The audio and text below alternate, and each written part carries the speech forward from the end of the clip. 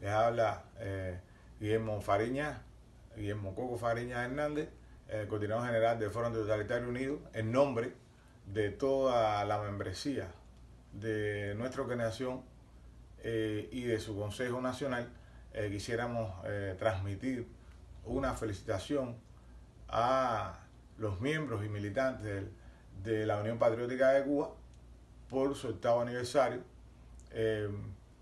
reconocerle su labor dinámica dentro de la oposición, tanto en las redes audiovisuales como en las calles, y contamos con ellos junto a otros, otras organizaciones para eh, poder dar al traste con el castrismo.